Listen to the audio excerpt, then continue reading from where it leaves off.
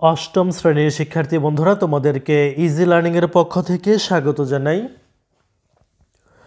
আজকের ভিডিওতে তোমাদের নতুন ইংরেজি বইয়ের activity four point three point ওয়ানের সমাধান করে দিব। এটি হচ্ছে তোমাদের পৃষ্ঠা নাম্বার সাতচল্লিশ, আটচল্লিশ ও উনপঞ্চাশ এর সমাধান।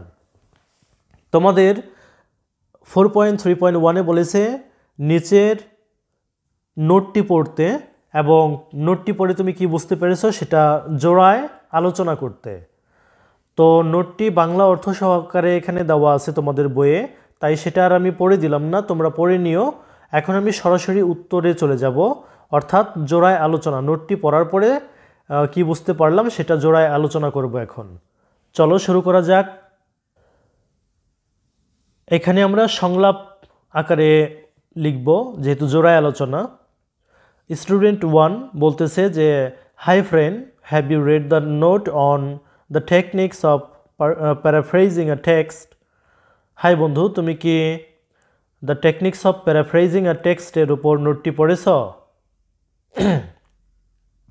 এবার, স্টুডেন্ট টু বলতেছে যে ইয়েস হ্যাঁ I have learn from the note that আমি নোটটি থেকে শিখেছি যে a text can be paraphrased by three techniques নোটটি থেকে আমি শিখেছি যে একটি টেক্সট তিনটি কৌশলের মাধ্যমে প্যারাফ্রাইজ করা যেতে পারে সাস অ্যাজ ইউজিং সিনোনিমস যেমন সিনোনিম বা সমর্থক শব্দের ব্যবহার করে চেঞ্জিং সেন্টেন্স স্ট্রাকচার বাক্যের গঠন পরিবর্তন করে and adding or removing words শব্দ যোগ বিয়োগ করে।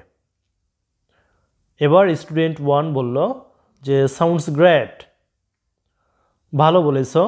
That means paraphrasing is rewriting something in your own words right তার মানে প্যারাফ্রাইজিং হলো কোনো কিছু নিজের ভাষায় পুনরায় লেখা, তাই তো?